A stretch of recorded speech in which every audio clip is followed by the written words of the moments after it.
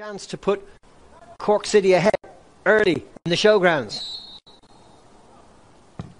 Oh, it's a good save. Fine stop. Starting sunny day in the northwest. In a season where Sligo Rovers started disastrously, then had a wonderful spell where they were getting all sorts of points. Oh, there's Junior! And it's Sligo Rovers who've got the lead goal. He's just a bit too quick for Henry Ochieng. Good battling play. It almost broke for Elliot there as uh, O'Brien Whitmarsh knocked down John Mahon's attempted clearance. Now it's Will Seymour.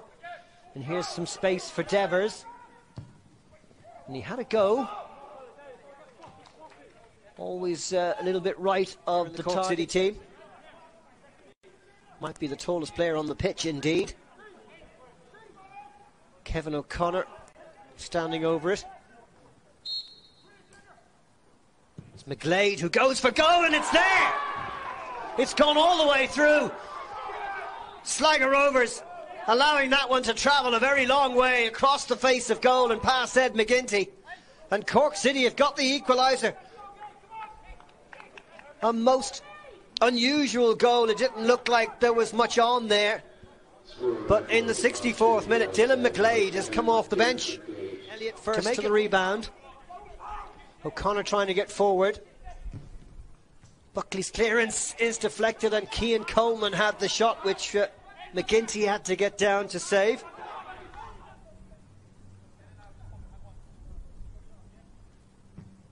In comes the corner from Donnan, flapped at by Bossin. Oh, he just got his arm to it as Banks tried to follow up, but it's going to be a penalty to Sligo Rovers. Referee just making sure that every player is outside of the penalty area and the D. Can Coughlan put Sligo Rovers ahead? And he just slides it in. Bossin complaining that he uh, stuttered on his uh, run up.